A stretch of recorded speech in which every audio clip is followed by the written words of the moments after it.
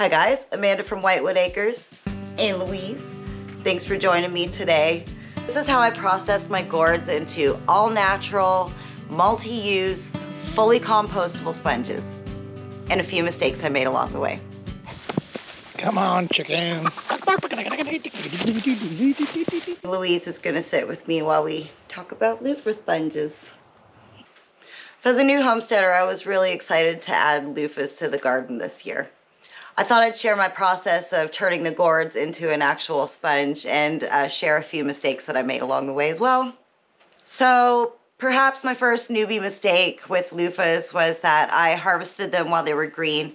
I decided to take them off the vine while they were green because I was terrified of the frost that was coming and I was afraid it might ruin the gourds. So I think typically they dry out and turn brown on the vine. But I took mine off green and I decided to bring them here into the garage and lay them on newspapers kind of off to the side by the fire and let them dry out that way.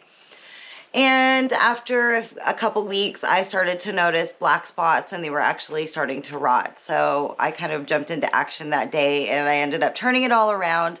And I did have a few losses, but I got lots of really great sponges. Let me just show you. Here's one that's completely dried out and ready to cut into smaller, more manageable sponges. So as soon as I started to notice the black spots, the first thing I decided to do was try and husk them. They were really tough, so I crunched them up with my foot. I crunched them up with a mallet. Then I took off all of the outer skin.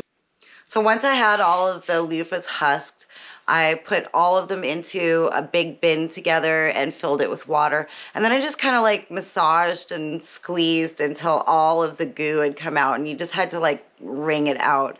And once all the goo came out, I rinsed them again, filled the bin with water, went through the exact same process, got all of the seeds out, and then I brought them back in and I put them beside the wood stove to dry. And that actually worked out. And now I have all these great little sponges.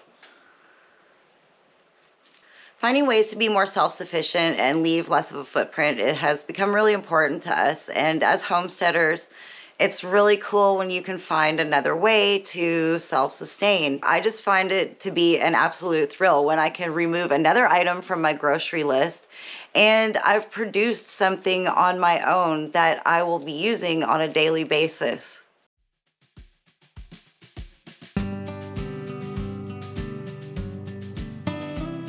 I hope you enjoyed this video. We'll see you on the next one.